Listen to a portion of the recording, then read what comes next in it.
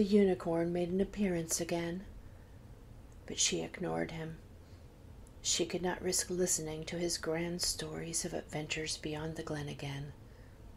She flew past him as if she didn't notice his sparkling white unicorn coat or see his beautiful mane of hair. She ran away to find just the right colors to paint the butterflies. She could not make a natural butterfly, but she could paint them with magical colors.